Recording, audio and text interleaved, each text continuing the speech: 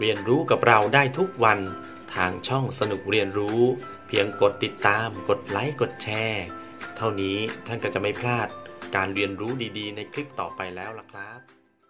ครับสวัสดีครับ สวัสดีทุกท่านนะครับสำหรับในคลิปนี้ก็เป็นข่าวดีจากกระทรวงอุดมศึกษาวิทยาศาสตร์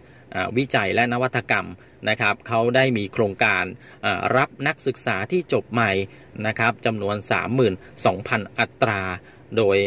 จ้างเป็นระยะเวลา 3 เดือน ค่าจ้าง 9,000 บาทต่อเดือนนะครับ ในรายละเอียดเรื่องนี้เนี่ย นายสุวิทย์เมสินทรีรัฐมนตรีว่าการกระทรวงอุดมศึกษาเนี่ยนะครับ ได้เปิดเผยว่าได้จัดทำโครงการอของกระทรวงอุดมศึกษาในการสร้างงานระยะที่ 2 ซึ่งระยะที่2เนี่ยก็จะมีขึ้นในเดือนกรกฎาคมถึงกันยายนนี้ รวมเวลา 3 เดือน ค่าจ้าง 9,000 บาทต่อเดือน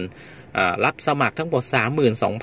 32,718 อัตรานะครับ แล้วก็เปิดรับสมัครได้ทันทีหลังจากที่ได้รับอนุมัติงบประมาณจากสำนักงบประมาณ ในช่วงกลางเดือนมิถุนายนนี้นะครับ เพื่อจ้างงานบัณฑิตจบใหม่ และบัณฑิตที่ตกค้างเป็นระยะเวลา 1 ปีสำหรับผู้ที่สนใจนะครับจะสมัครทำงานกับโครงการนี้เนี่ยสามารถติดต่อกลุ่มงานกิจการ เลขาธิการสำนักงานปลัดกระทรวง อุดมศึกษา วิทยาศาสตร์ วิจัยและนวัตกรรม หรือกระทรวงอวเนี่ยนะครับโทรไปสอบถามได้ที่ 02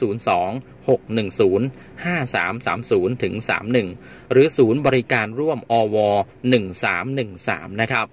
เพราะฉะนั้นวันนี้นะครับบัณฑิตจบใหม่ท่านใดที่ยังไม่ได้ทำงานหรือว่างงานอยู่เนี่ยก็เตรียม